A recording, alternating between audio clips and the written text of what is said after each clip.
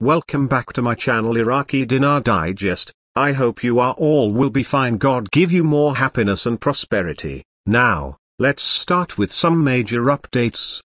Intel guru Frank 26 shared that Iraqi Prime Minister Sudani announced on Friday that the government is working on removing three zeros from the Iraqi dinar to increase its value and give citizens more purchasing power, with plans to achieve this by the end of the year. The next day, a statement from Barzani in Kurdistan echoed this sentiment, confirming that Baghdad, the central bank, and Sudani's team are all aligned in this effort. There is growing speculation that this change might happen even sooner, potentially by mid-October, signaling a major shift in Iraq's currency policy aimed at strengthening the dinar. The Iraqi government has recently made a series of important decisions directly tied to the real effective exchange rate, REA a crucial indicator of a country's economic strength on the global stage. Now, the term real effective exchange rate might sound technical, but it's essentially a measure of a country's currency value against a basket of foreign currencies, adjusted for inflation. When Iraq takes steps in line with REA principles, it signals they are working toward a more balanced and competitive position in the global economy. The government's recent moves suggest they are serious about adjusting their exchange rate to reflect the country's actual economic situation more accurately.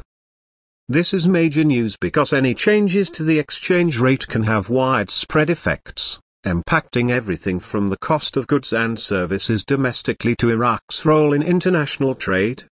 If you've been following developments with the Iraqi dinar, you're probably aware of long-standing speculation about a potential rate adjustment. With these latest decisions, it seems we might be closer than ever to seeing that speculation become reality.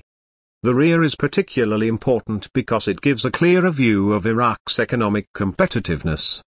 Unlike the nominal exchange rate, which compares one currency against another, the REA considers multiple currencies and adjusts for inflation.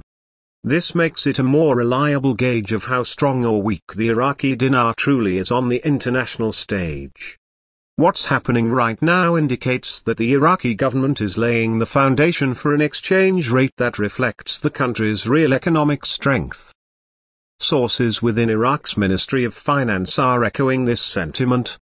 These moves are aligning with a broader push for REER adjustments, and insiders believe these steps could lead to a significant change in the Iraqi dinar's value. Additionally, the government is taking strong measures to tighten its financial policies, crack down on corruption, and implement reforms aimed at making Iraq more attractive to foreign investors. These are precisely the kinds of changes needed for a substantial REER adjustment. For years, Iraq has struggled with political instability, economic sanctions, and corruption all of which have hampered growth. However, these new decisions point to a shift in the government's priorities. They seem more committed than ever to stabilizing the economy, boosting international trade, and ultimately adjusting the exchange rate to reflect the true value of the Iraqi dinar.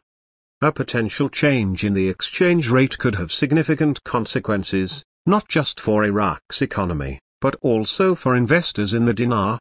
Stay tuned as we continue to watch this unfold. On Thursday, the exchange rates of the US dollar against the Iraqi dinar remained stable in Baghdad but dropped slightly in Erbil markets. According to a survey by Shafaq news agency, the dollar rate on the Central Al-Kifah and Al-Harithiyya stock exchanges in Baghdad closed at 153,800 dinars per $100, the same as the opening rate.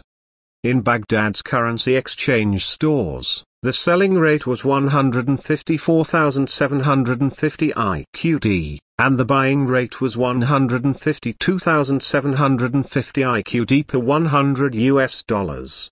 Meanwhile, in Erbil, the selling price was 153,850 dinars, and the buying price was 153,750 dinars per $100.